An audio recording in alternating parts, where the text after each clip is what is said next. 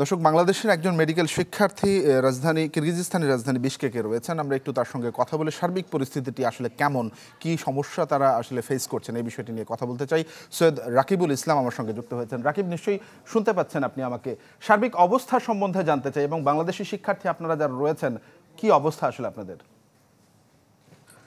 আসলে এখানে সার্বিক পরিস্থিতি গত রাত্রে খুবই ভয়াবহ অবস্থায় ছিল। তো বিষয়টা হচ্ছে এখানকার বিদেশি নাগরিক অর্থাৎ ফরাসি নাগরিকদের সাথে এই লোকালদের একটা আহ, সংঘর্ষের সৃষ্টি হয়। এর জের ধরে হচ্ছে পাকিস্তানি বাংলাদেশি এবং ইন্ডিয়ান যে স্টুডেন্টগুলো আছে তাদের উপর এরা অতর্কিত হামলা চালায়। এই হামলাটা সংঘটিত হচ্ছে রাত্রে। আনুমানিক রাত দশটা থেকে ভোর সকাল আটটা পর্যন্ত এই সংঘর্ষ চলে। তো বর্তমান যে পরিস্থিতি বিরাজ করছে সেটা হচ্ছে পুলিশ সব জায়গায় মোতায়েন রয়েছে। কিন্তু পরিস্থিতি এখনও বলা যাচ্ছে যে পরিস্থিতি টোটালি নিয়ন্ত্রণে এখনও পুরোপুরি আসেনি।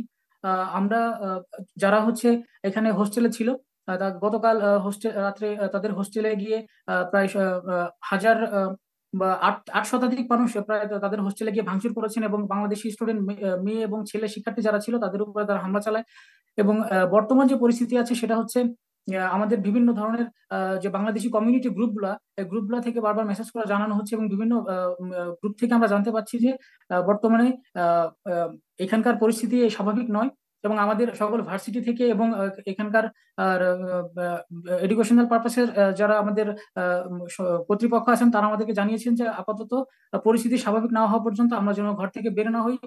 এবং এমনকি আমরা সবসময় নিজেদের নিরাপত্তা নিয়ে এবং নিজেদের নিরাপত্তা বজায় রেখে আমরা যার যার মতো বাসায় অবস্থান করি এবং যে যেখানে থাকুক তারা সেফটি সহকারে সেখানে থাকুক এবং বাহিরে যেন কেউ বের না হয় কারণ বাহিরে বের হলেই এই- দেশের লোকালদের সাথে একটা সাংঘাত তৈরি হচ্ছে। এবং বর্তমানে সার্বিক পরিস্থিতি বলতে এই যে আমরা যেহেতু গতকাল রাত্রে ঘটনাটা ঘটেছে, সুতরাং আমরা আজকে একটু অনিশ্চয়তার মধ্যে পড়েছি। দিন সকালে আটটার পর থেকে আর কোনো ঘটনা তেমন দেখা যায়নি। কিন্তু আমাদের একটা কনফিউশন রয়েছে যে সামনে যে রাতটা আসছে বা এই আজকের রাতটা হয়তো বা আবার কি গত রাত্রের মতো এরকম ভয়াবহ রূপ ধারণ করবে কিনা? সুতরাং আমরা আপনার সঙ্গে একটু যুক্ত করি। একটু যদি ঘটনার পেছনে যাবেন এর সূত্রপাতটা আসলে কি থেকে হয়েছিল এবং আইন শৃঙ্খলা বাহিনীর ভূমিকাটি এখন কেমন? আপনাদের যে অনিশ্চয়তা তারা কোনো ধরনের সহযোগিতা করছে কিনা? আসলে সূত্রপাতটা হয়েছে হচ্ছে মিশরীয় কিছু নাগরিকদের সাথে হচ্ছে এই দেশের লোকের সাংঘাত ঘটে। এই কারণটা আসলে কি সেটা অবশ্য এখনও জানা যায়নি। যেহেতু আমাদের আমরা এখনও বাইরে বের হতে পারছি না এবং হচ্ছে আমাদের ভার্সিটি থেকে আমাদের অ্যালার্ট দেওয়া হয়েছে যে আমরা যেন বাইরে বের না হই, গত যতদিন পর্যন্ত এই পরিস্থিতি স্বাভাবিকভাবে ফিরে আসে সুতরাং আমরা মূল ঘটনার সূত্রপাতটা কি মানে কেন ঘটলো সেটা আমরা বলতে পারছি না, কিন্তু ফরাসি নাগরিকদের সাথে হচ্ছে এই কিরগিজ যারা লোকাল এদের সাথে একটা সাংঘাতের সৃষ্টি হওয়ার পরে হচ্ছে এই ঘটনার সূত্রপাত। এবং আমাদের বাংলাদেশি ইন্ডিয়ান পাকিস্তানি স্টুডেন্ট যারা ছিল এরা কেউ এইগুলোর সাথে কোনোভাবেই জড়িত নয়।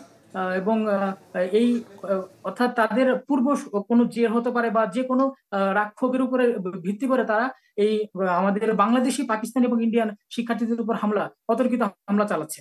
জি। রাকিব, ধন্যবাদ আপনাকে আমাদের সঙ্গে যুক্ত হওয়ার জন্য। নিরাপদে থাকবেন। শুভকামনা রইল আপনার জন্য। দর্শক, আমাদের সঙ্গে কিরগিজস্তানের রাজধানী বিশকেক থেকে যুক্ত হয়েছিলেন মেডিকেল শিক্ষার্থী সৈয়দ রাকিবুল ইসলাম। আমরা কথা বলছিলাম সেখানকার সার্বিক পরিস্থিতি নিয়ে।